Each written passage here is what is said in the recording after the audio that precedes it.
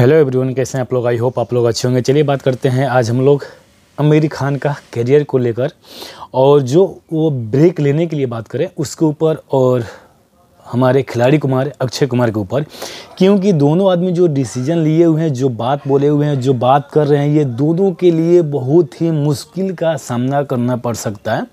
हालाँकि जो आमिर खान सर का जो मतलब बात हुआ है, जो उनका प्रॉब्लम चला हुआ है, एक के बाद एक मूवी फ्लॉप हुई है और ऑडियंस उनको उतना खास पसंद नहीं किया है।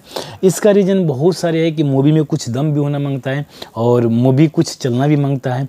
तो इसी के ऊपर बात करेंगे। इससे पहले आप लोगों से रिक्वेस्ट है कि प्लीज़ आप लोग चैनल को सब्सक्राइब कर लीजिए। आप लोग के यहाँ पे एक से एक बढ़ के अपडेट मिलता रहेगा। मूवी रिव्यू हो, रिएक्शन ए टू जेड मिलेगी।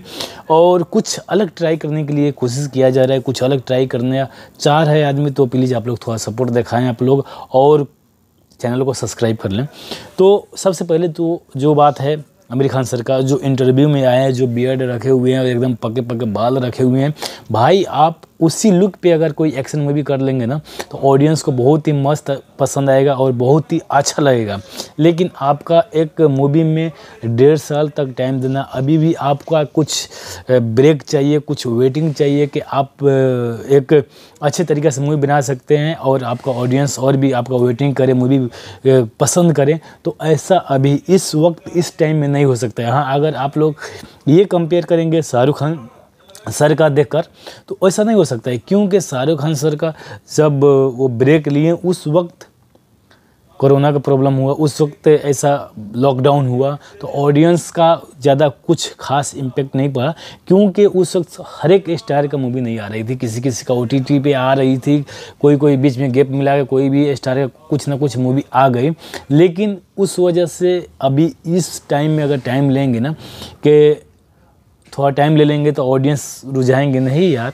अगर आप डेढ़ साल टाइम ले रहे हैं, डेढ़ साल के बाद में फिर एक मूवी करेंगे, उसका भी डेढ़ साल टाइम जाएगा, लगभग तीन साल तक टाइम जाएगा आपका एक मूवी आने के लिए तो उस वक्त क्या होगा कि आपको बहुत सारे एक्टर भूल गए होंगे, बहुत सारे ऑडियंस आपको भूल गए होंगे और आपका मूवी देखने उतने जाएँगे क्योंकि उस बीच में, उस दौरान क्या होगा कि कोई और एक्टर उस ऑडियंस को, उस पब्लिक को पसंद आ जाएगी और आपका खेल ख़त्म हो जाएगा। तो इसी हिसाब से और इसी बात की वजह से इतना लंबा गेप नहीं लें आप। छः महीने बाद आपको एक मूवी करें नेक्स्ट मतलब ईयर्स में आप रिलीज़ करें, बहुत ही अच्छा रहेगा आपके लिए। नहीं तो समझ जाए कि अब आमिर खान का कोई भी मूवी हिट नहीं होने वाली है और कोई भी मूवी उनका चलने वाली नहीं है। दूसरा बात करें, अक्षय कुमार सर का बहुत सारे प्रॉब्लम बता रहे हैं कि हेरा फेरी का स्क्रिप्ट नहीं अच्छा था और ये सुनने के लिए मिल रहा है कार्तिक, वो हर एक जगह पे उनका मूवी का वो साइन करेंगे, क्योंकि कमती बजट में, कमती पैसे में अगर मूवी बन रहा है, अगर वो कमती अपना चार्ज कर रहे हैं तो कोई भी प्रोड्यूसर उन्हीं को मतलब पसंद करेगा। आप हंड्रेड करोड़ लेकर अगर मूवी अगर फॉलोअप हो रही है मूवी चल नहीं रही है तो क्या फ़ायदा है आपको लेकर? तो स्क्रिप्ट आप अच्छे देखें, लेकिन आप अपना चार्ज भी कम करेंगे तो आपको ऑडियंस पसंद करेगी। जो दौर चल रहा था दो साल, तीन साल पहले आपका कोई भी मूवी आती थी, जैसे प्रेम टॉयलेट एक प्रेम का था तो उस पर भी मतलब एक अच्छा खासा मतलब वो मूवी को ऑडियंस पसंद किया और भी सारे आपका मूवी कमती बजट का आया, लेकिन ऑडियंस उस मूवी से एकदम कनेक्ट हो गए और आपको वो मूवी चला। उसी टाइप का स्टोरी आप चूज़ करें और उसी हिसाब का आप मूवी बनाएँ, आपको ऑडियंस पसंद करेंगे और आपका मूवी चलेगी। लेकिन अगर कुछ और आपका कुछ प्रॉब्लम हुआ तो समझ जाए अक्षय कुमार सर का भी करियर ख़त्म है। तो इसी इर्द गिर्द में और भी सारे बहुत सारे स्टार हैं जिनका अभी जो है ना करियर बहुत ही मुश्किल से दाव पर लगा हुआ है और कैसा हूँ, झुझ रहे हैं। तो वो शामिल सलमान खान सर भी हो सकते हैं, लेकिन ज़्यादातर अजय देवगन भी है। अब अजय देवगन सर का जो ये दृश्यम टू मूवी आ रही है, उस वक्त क्या होगा? ये अगर ये भी मूवी नहीं चला तो इनका भी एकदम लाइन लग गया मूवी का फ्लॉप होने में और मूवी पब्लिक नहीं पसंद करेंगे।